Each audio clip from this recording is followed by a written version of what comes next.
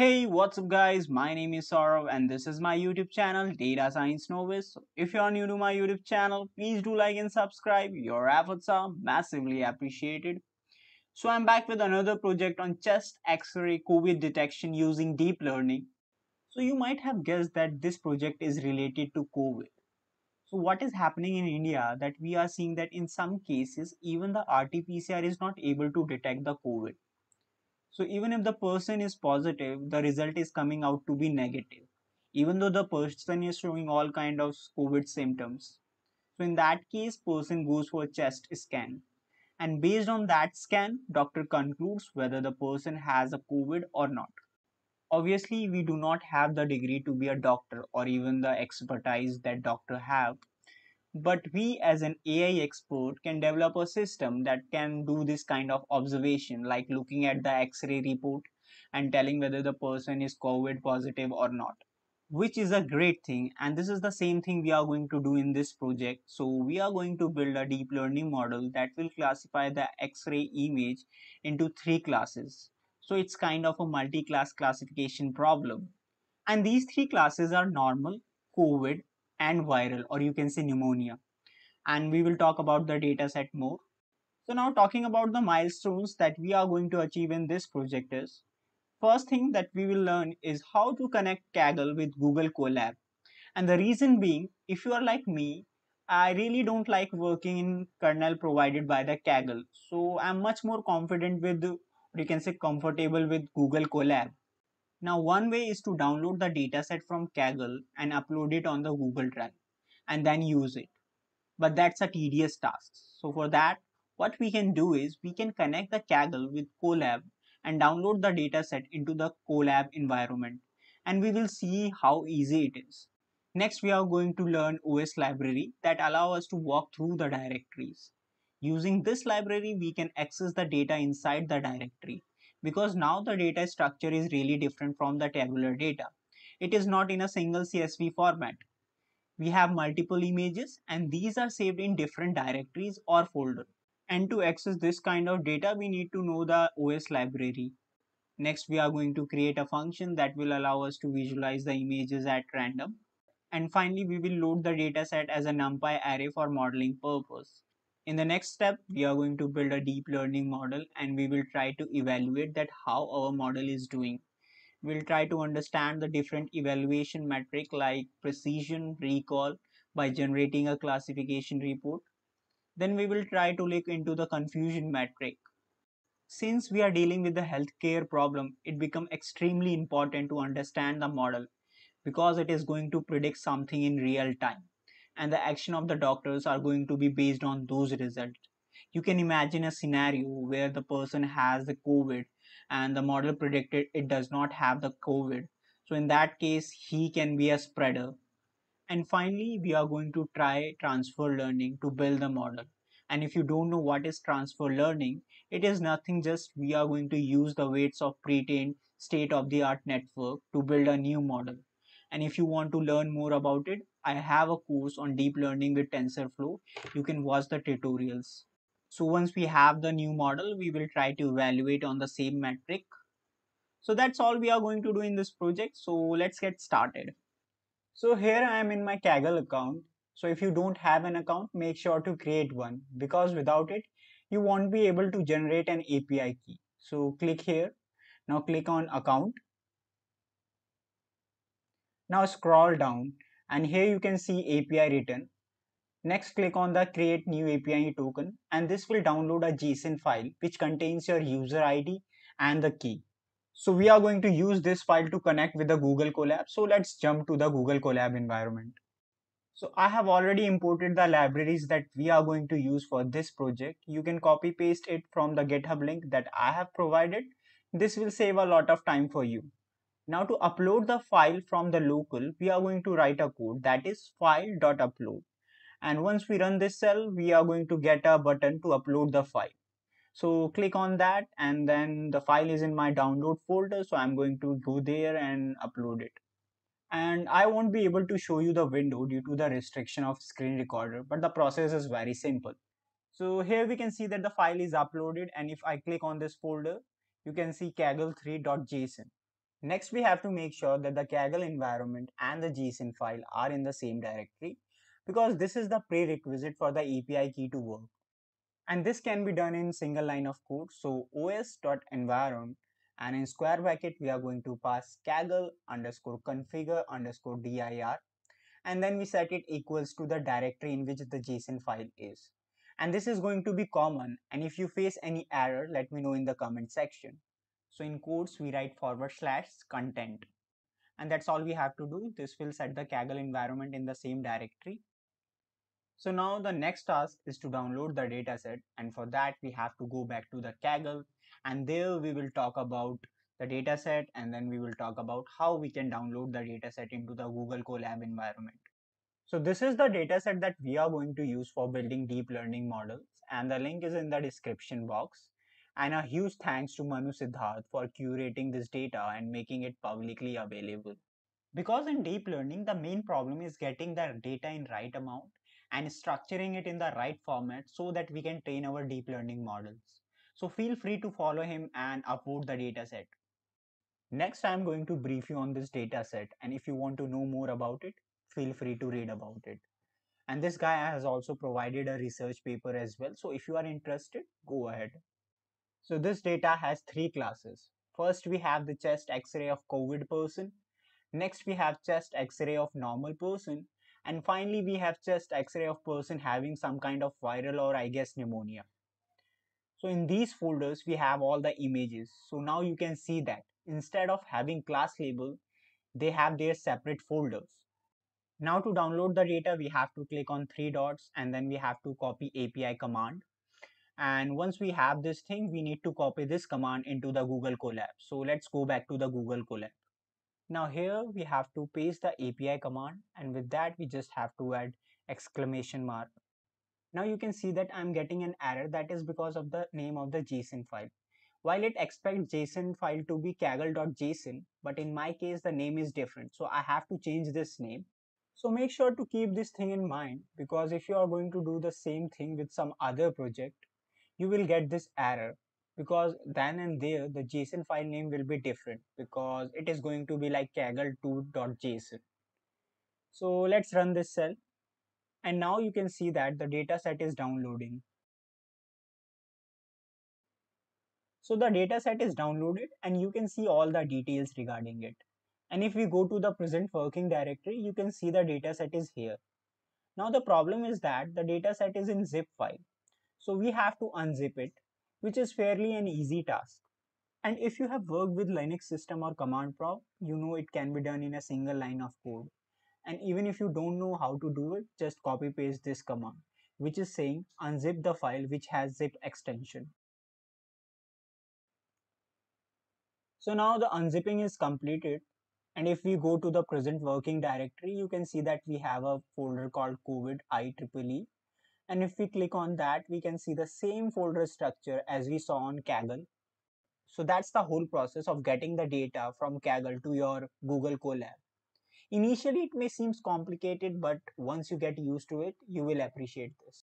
Next, we are going to talk about OS library and using that, we are going to do few things like checking the number of directories or checking the number of image in each directory or accessing the image from any directory. So first we are going to check the number of directories and number of images in each directory. So for directory path, directory name and file name in os.walk and inside that we have to pass the directory path for which we want the information. So here we just go to the folder and click on three dots in front of COVID I IEEE and here we have file path option. Just copy it and paste it in the walk function. So next we are going to print out some information and for that I'm going to use f-string literals. So first we are going to print the number of directories so that's why we are using length function. Next we are going to print out the number of images in each folder and again for that we are going to use length function and finally we are going to print out the file path so for that we just simply have to pass the directory path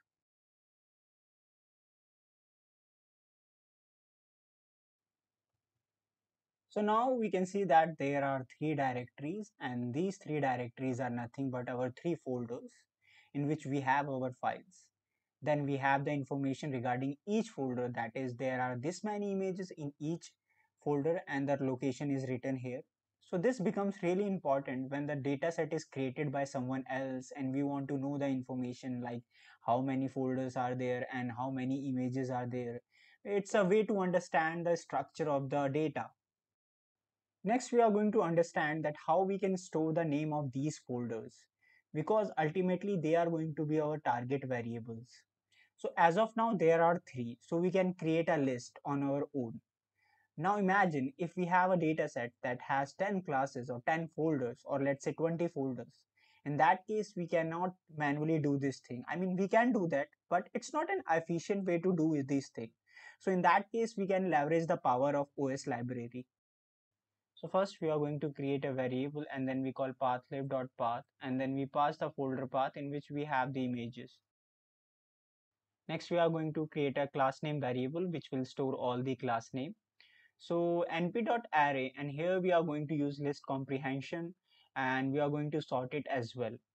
And inside this list we are going to iterate over each folder and the code is going to be something like this. Item.name to grab the name of the folder for item in data dir dot glob and then we have to pass the asterisk.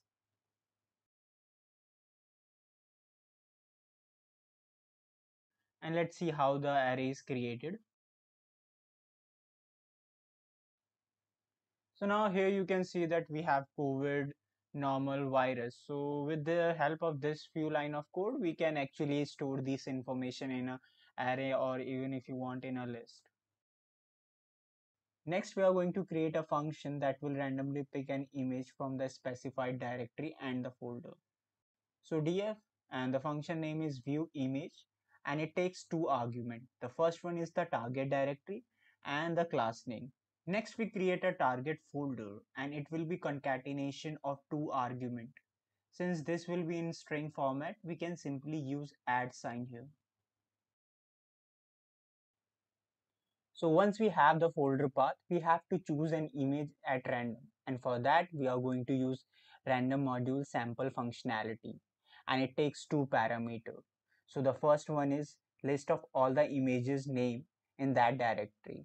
And this can be done using os.dir method and inside that we have to pass the target folder.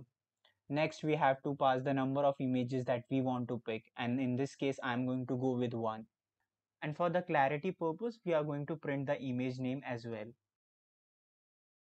So once we have picked up the image we are going to read it using matplotlib image module which we have imported. So mp image.im read and then we have to pass the target folder. Then we have to add the forward slash and then we have to pass the random image. So basically what we are doing here is we are defining the path for that particular image Next, we are going to show this image and then we have to pass cmap equals to gray else it is going to take viridis. Next, we are going to print out the title that is from which class it belongs. Next, we are going to set the axis equals to off and that is for the aesthetic purpose. And finally, this function will return the image itself. So now let's test the function. So we call our function, then we have to pass the directory and make sure to add forward slash in the end, else you will get an error. Next, we simply pass the class name as a string. And here we can see the chest x-ray of a person having virus or pneumonia. And obviously this all looks very alien to us because we are not doctor, right? But still we will be able to predict that whether the person has COVID or not which is in my opinion is a really great thing. So on the similar lines, we can do this for normal as well as COVID person. So let's do that. And for this, I'm going to copy paste the code and we just have to change the class name. And in this case, we are going to go with normal. And here we have the chest x-ray of a normal person. And one thing is to keep in mind is that every time we run the cell, we will get a different image. So now let's plot for the person having COVID. And here we can see the chest x-ray And by looking at this image, we can say that it is very different from the other two images. That is because due to COVID, lungs are getting affected, which can be seen here clearly. And this is the thing that our deep learning model will try to learn during the training part, or you can say try to explore during the training. So that's all for the visualization part. And if you want to try something new, go ahead. I would suggest you to figure out how we can choose multiple images at random and plot them. So as of now, the data is in Drive, but we have to save the data in some kind of variable in order to use the data. Although there are techniques where we do not have to do that, but here we will learn to import the images into a variable. We are going to create a NumPy array and then we are going to save all the images in that array.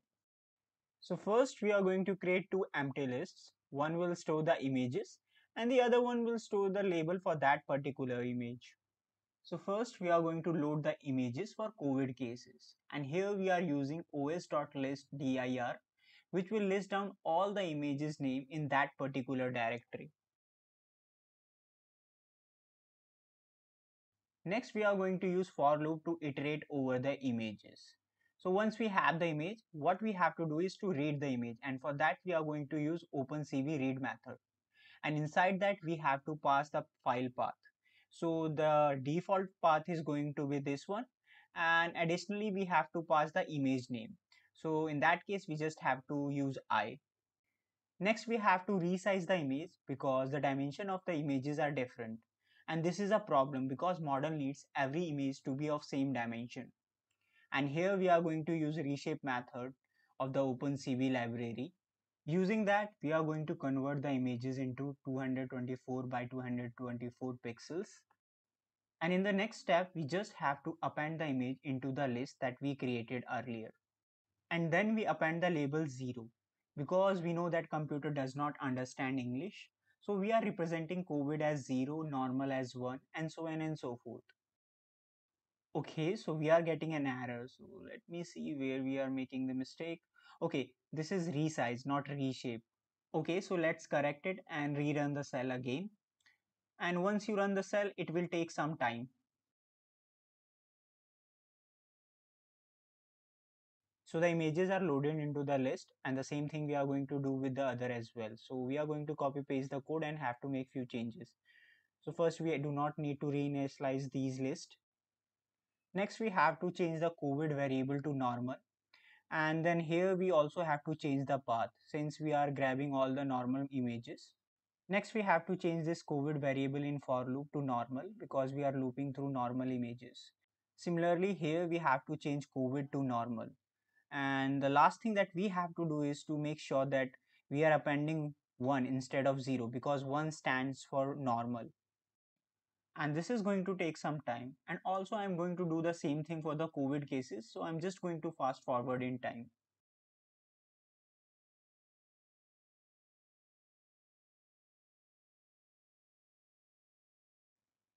So we have successfully loaded all the data. Next we have to do some transformation before building the model. So first we have to convert the data list into a NumPy array and along with that we have to normalize the data. And to normalize the data, we just have to divide it by the highest pixel value, that is 255.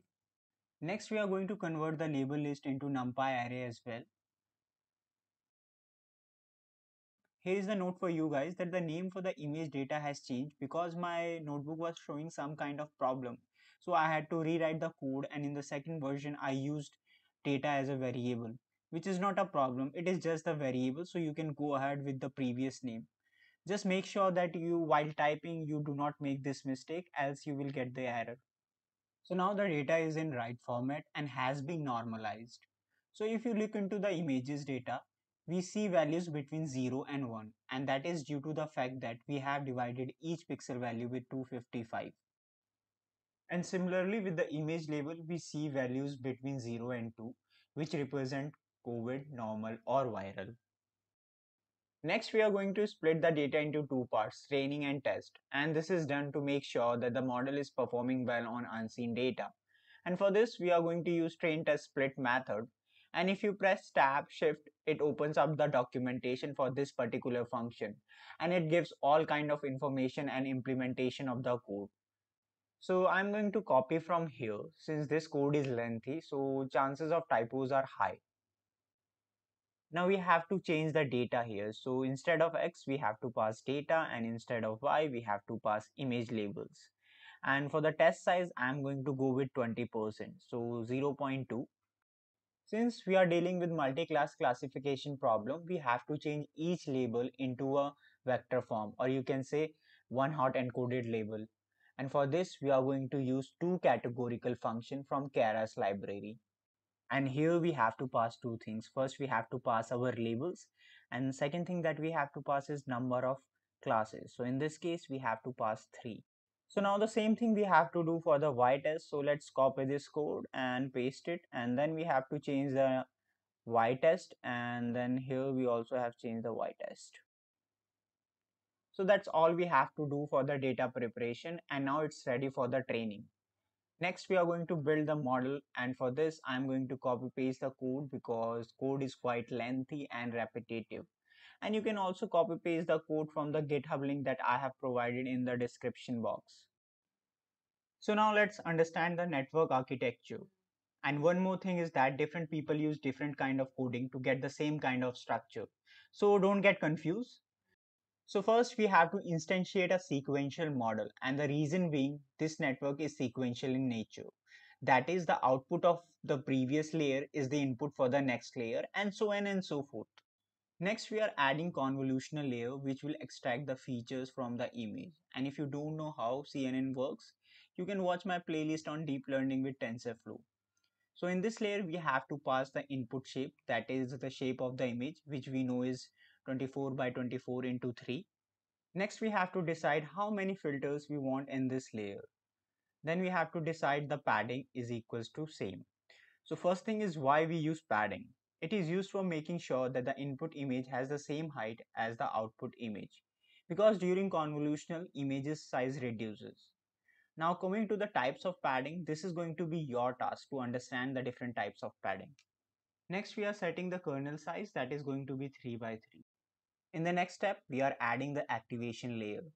Although it can be mentioned in the same code, but I prefer it to keep in separate. That is because if you look at the structure of CNN on internet, you will find some people consider activation layer as a separate layer and some doesn't. So I am one of those people who consider activation as a separate layer. Now coming to the part why we use activation layer, it is used for introducing non-linearity in the model. Since image data is non-linear in nature, in the next line, we are going to create the same kind of network architecture. So you can see that I am repeating the same code here. Next, we are adding the pooling layer and here we are using max pooling. There is another thing called average pooling and this is basically used for reducing the size of a feature map. And this whole is going to be our one block and there is no scientific reason behind this it is just that i keep this structure like this so that during the interview i can explain these things easily because obviously i'm not going to explain each and every layer because everything is same it's just we are changing few things.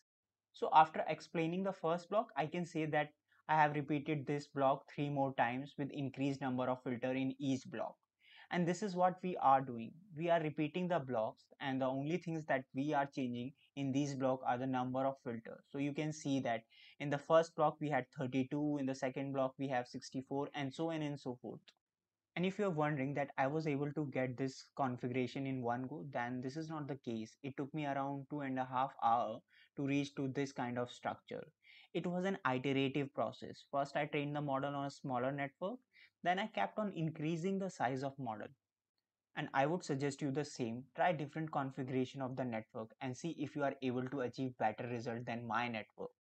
So once we are done adding convolutional layer, our next task is to add neural network. So first here we are going to flatten the output coming from the last block of convolutional layer. Then we are going to define the structure of our neural network. Like the first layer should have 1024 neurons and in the second layer we should have 256 neurons. And ultimately in the last layer we are going to have three neurons and they are corresponding to the predictions. And here in the last layer we are using softmax function to convert the output into probabilities. Next we are compiling the model which means that on what parameter we want to train the model on like what should be the optimizer? And in most cases we use adam optimizer.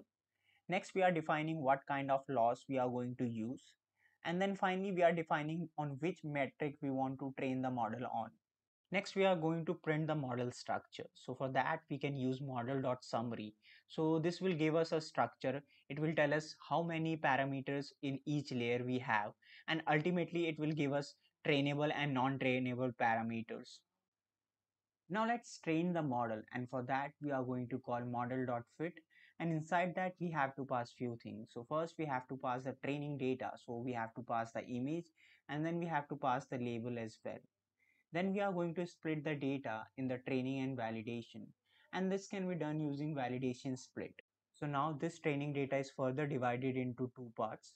Next we define the number of epochs. That is going to be 15 then finally we define the batch size and that is going to be 32. Now let's start the training and make sure that you have set the accelerator to GPU else it will take a lot of time for the training. So this will take some time. So what I'm going to do, I'm going to fast forward in time and see you there. So the training has completed. Next we are going to visualize it and this code is pretty standard one.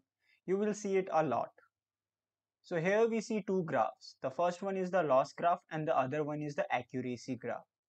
So in the first graph, we see that as the training goes on, training loss or you can say loss that is in blue line is kept on decreasing, which is quite understandable because this is the purpose of algorithm, right? Now, if we look at the validation loss, we see that here the loss kept on decreasing and after some time we see an erratic trend. In the next graph, we see the same trend with the accuracy of the model. So it's quite understandable, like if the loss is decreasing, accuracy is going to increase. Next, we are going to see the classification report of predicted values to understand that how the model is doing with each class. And for that, first we have to use the predict function of the model to actually predict the values. So model.predict and then we have to pass the test set. So in a way, we are testing model twice because once we test the model on the validation set and now we are testing on the test set. Next, we are going to use argmax function to reformat the labels because classification report needs data into a certain format. So argmax function is commonly used in machine learning for finding the class with the largest predicted probability.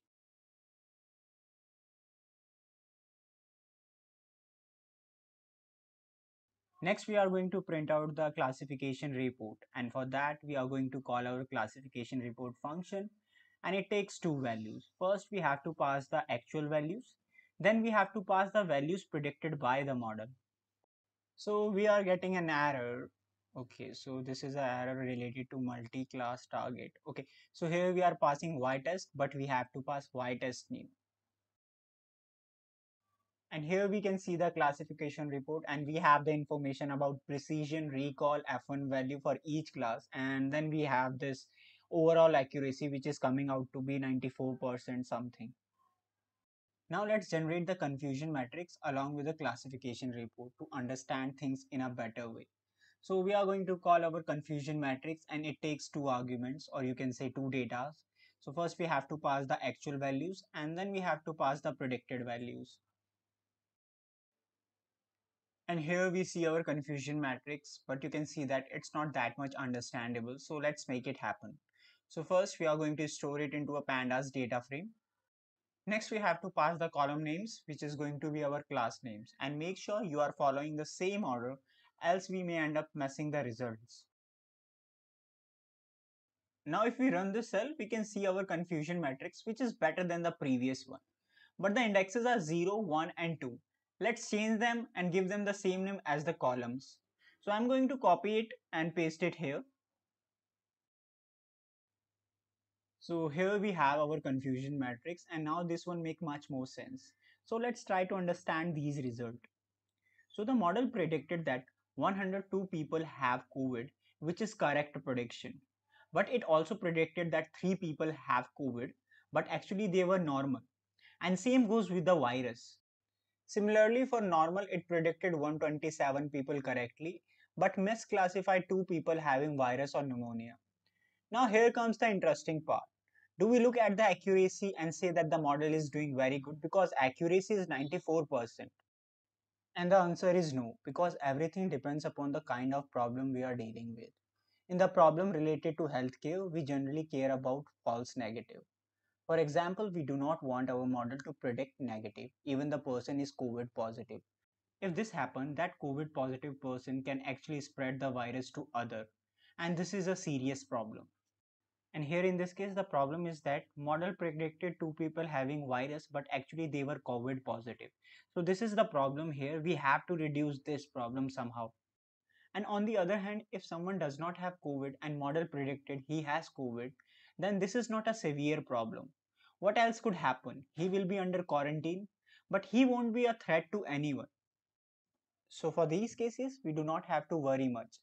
So next we are going to try some pre-trained model using transfer learning. So let's talk about it. So in this technique, we use the weights of pre-trained model and modifies it a little bit. So you can understand it like this. Let's say a human has head and then there is a whole body. So we are replacing the head with someone else head and making him a new person. Obviously this is not possible or i don't know how much advancement is there in medical fraternity but you got the idea. We are actually using a pre-trained model and then we are trying to modify it and making a new model for ourselves. And this is only possible with image data. You can't do this with tabular data. Imagine you are fitting a linear regression model line that is trained on someone else data you can't do that but in image classification or uh, problem related to image you can do this thing so we are going to use the weights of MobileNet model, which is trained on ImageNet data. And this is going to be our base model. So to import the MobileNet architecture, we just have to do tf.keras.application. And now here you can see all the models available for the transfer learning. We can choose any of the models. Next, we have to pass few things like input shape, which is nothing but the image size, which is 24 by 24 by 24 then we have to specify the weights of the model. So in this case, I'm going to use ImageNet data weights. And then we have to pass the include top equals to false because we do not want the last layer, which is the prediction layer. Next, we have to freeze the weights of network because if we don't do this, during the training weights will start changing and this would take time and the whole purpose of transfer learning will be defeated because the purpose is that we have to use the weight of pre-trained model. We do not need to train them. So to deal with this kind of problem, we freeze the network's weight. And for that, we are going to use this code. So for layer in base model dot layers, then we set layers dot trainable equals to false. And here we can see that the weights are getting downloaded.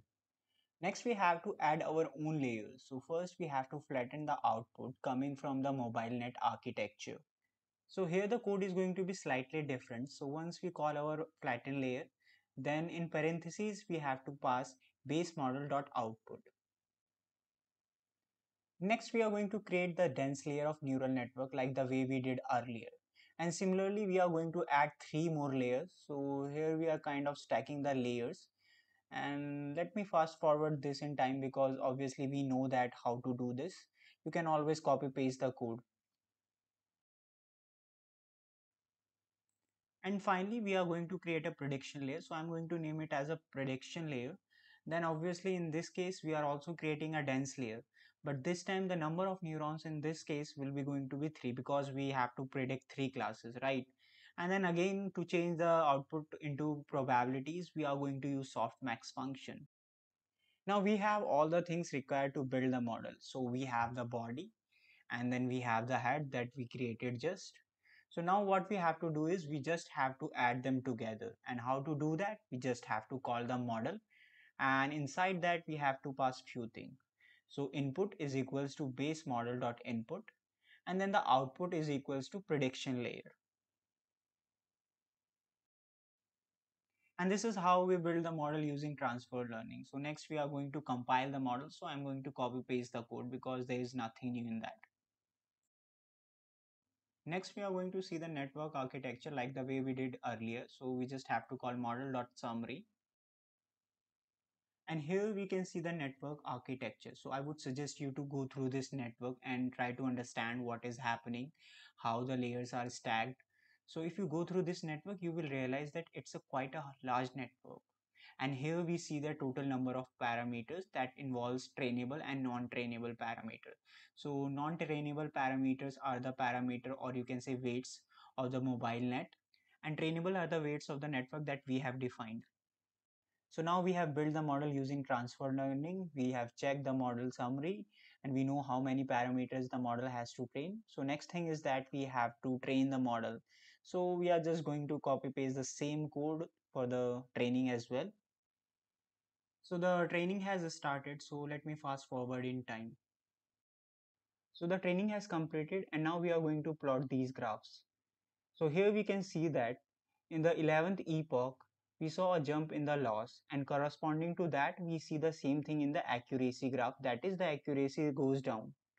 Next, we are going to print out the classification report and confusion matrix.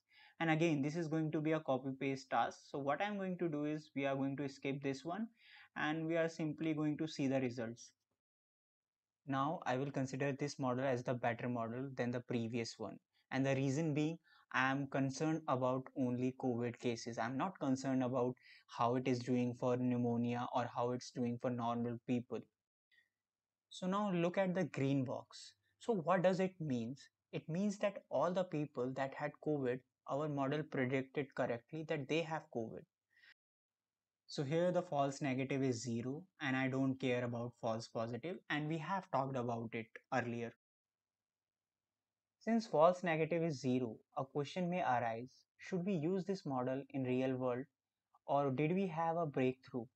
And the answer to this question is no. It's not only about building a model and start making prediction. We have to test the model under different scenario before claiming anything.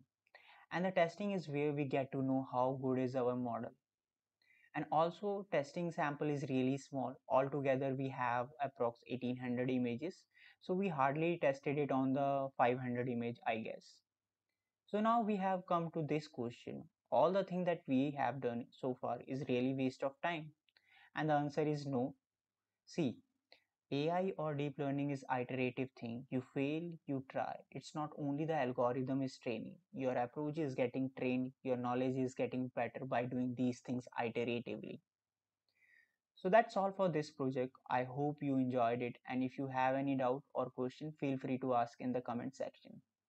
So that's all for this video. And if you are new to the channel, please do like and subscribe. Your efforts are massively appreciated. So see you in the next video. Till then, bye. Stay safe. Wear mask.